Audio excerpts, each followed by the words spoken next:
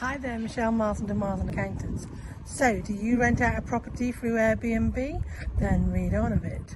So, what's happening with Airbnb? They have disclosed in their current accounts is that they are basically going to be declaring to HMRC everybody who's let a property through them for 17, 18 and 18, 19.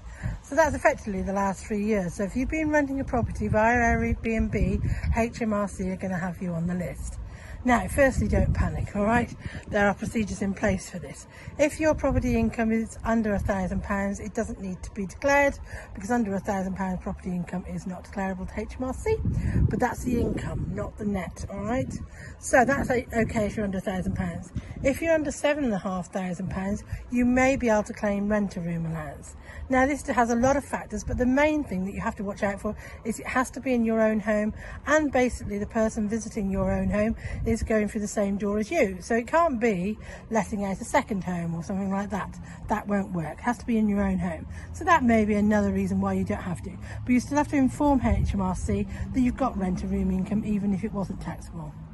Next step is then basically having to declare it to HMRC. The best thing to do is to come clean before they get you because one of the main things is, is if you come clean to them, then you get a reduced penalty. It's much reduced if you can take advantage of the Let Property campaign, which is for properties in the UK and for residential properties, not commercial properties. So if you can come under the Let Property campaign, that's where Marslands accountants have been specialising in this for over seven years now since the campaign started. So you're in the right place watching this video. But yeah, Airbnb income, if you've got some of it, then make sure it's on your self-assessment tax return. It might be that you just have to do an adjustment to your current self-assessment tax return, or it might be that you have to get into the self-assessment tax return system. All right, so watch out for that. But yes, Airbnb have now announced through their December 19 accounts that they will be reporting all of their customers to HMRC. So that means they'll know about you. It may take them a year, it may take them longer to get to you. So don't think that you haven't heard in a few months that they haven't got to you yet because HMRC do work in their own mysterious ways. So yeah, so they will be coming to you at some point. They'll put it together with the other information they know as well um, about people who've got two properties and things like that as well. Um, and they'll, they'll concentrate probably on those with the highest income first and work their way through that very long list. So yeah, watch out. There's billions being spent on Airbnb. So yeah, please make sure you can come clean before HMRC gets you. Reduce penalties means you can sleep at night as well. And there's, like I say, there's lots of things potentially that could do could be claimed.